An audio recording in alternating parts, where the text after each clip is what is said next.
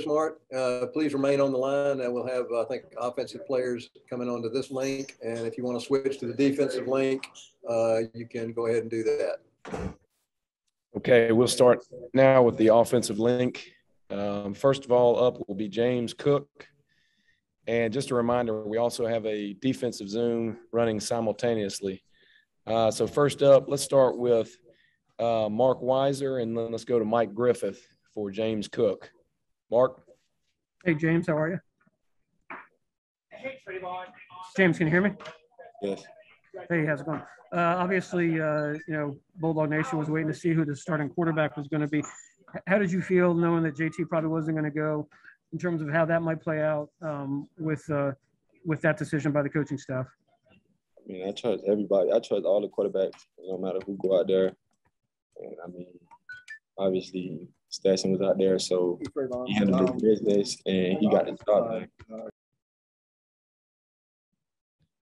Mike Griffith. Thanks. Uh, yeah, James, uh, good to see you in, in the end zone today. Uh, it's the, the, the, tough sledding uh, for the backs today, no explosive runs. I mean, what was UAB doing to, to clog those lanes up?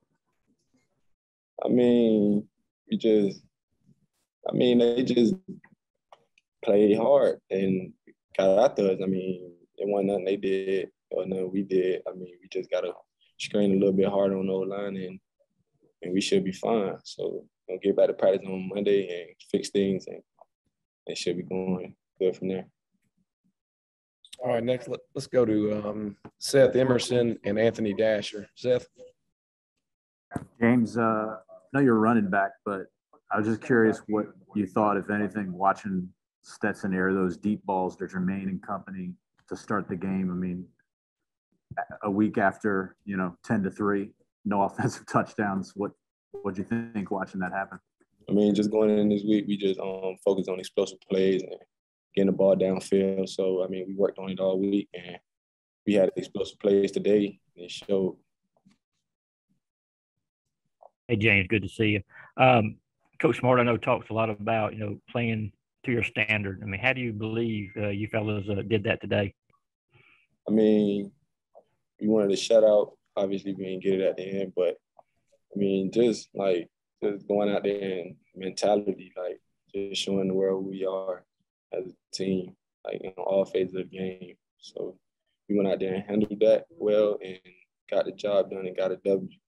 Just real quick follow up. Well, I mean, when you have that number two ranking, does that kind of really kind of play into that? to want to prove to people that hey, we are that good of a football team. I mean, not really. I mean, each and every week you got to come out there and play your best game.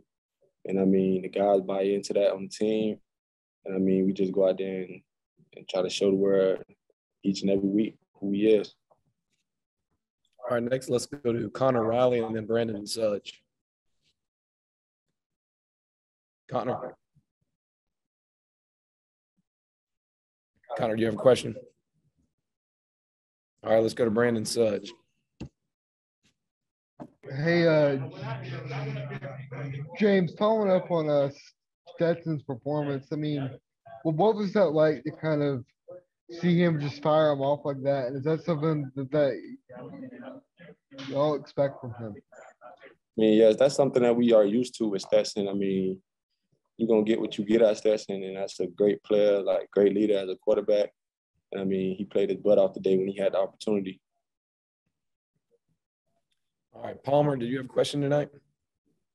Yeah, James, just how much confidence did y'all have in Stetson when you heard that he was going to be the starting quarterback? I mean, he was our he was our quarterback last year, so I mean, I mean, we gonna go with him anyway. Like, I mean, so we went with Stetson. He got a job done, and we got a W. Davis Baker, do you have a question? Yeah, hey James. Uh, so could you just take us through that touchdown run? It looked like you were, you know, wrapped up and then somehow got out of it and scored. I mean, it was a mentality. I mean, I just I saw I saw the end zone right there, and I knew the first man wasn't gonna tackle me.